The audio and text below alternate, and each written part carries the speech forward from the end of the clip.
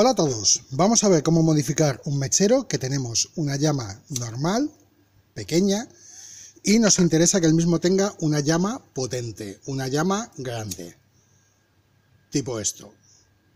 Pues nada, vamos a ver cómo lo podemos modificar. Quitaremos la caperuza superior del mechero, con cuidado, ya que a veces cuando la quitamos pues las piezas tienden a desmontarse. Y lo que tenemos que observar, lo que tenemos que mirar que el regulador de salida de gas lo colocamos en un lateral y vemos que tiene una pequeña piececita o saliente de plástico que hace la función de limitador. Pues ese saliente sencillamente lo recortamos un poco.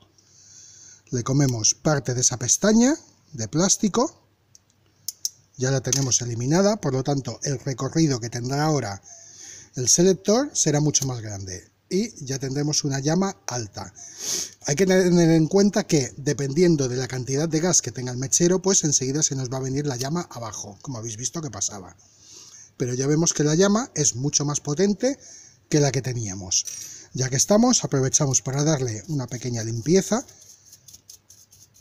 ya que los restos de carbonilla también inciden en que la llama no prenda a la primera, de que falle.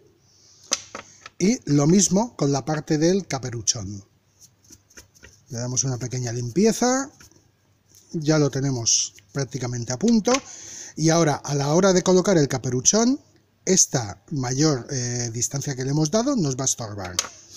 Por lo tanto, tenemos que coger un pequeño alicate, una tijera, lo que tengamos a mano que nos pueda valer para cortar el metal y le damos una pequeña mordida al metal. Eliminamos el trocito de metal sobrante, tal como veis, y ya nos queda a punto para recolocar el capuchón.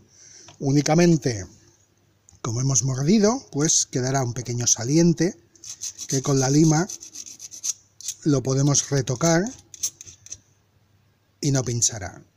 Eso ya no me voy a enrollar mucho más en esta parte del vídeo, ya sería retocar ese pequeño saliente, pues nada, cerramos el caperuchón, lo volvemos a colocar, tal como veis la parte móvil ya ha quedado colocada en este lateral, y ya tenemos una llama mucho más potente que la que teníamos inicialmente. La llama tal como veis se viene abajo porque este mechero tal como le pasa a este otro prácticamente está en las últimas de gas, ya casi no tienen gas, por eso la llama enseguida se viene abajo. Pero un mechero que tenga la carga de gas correcta, la llama será mucho más alta que la que teníamos anteriormente. Espero que este consejo os pueda ser de utilidad y si tenéis algún mechero que queréis alargarle la llama, pues ya sabéis cómo se puede hacer. Un saludo para todos.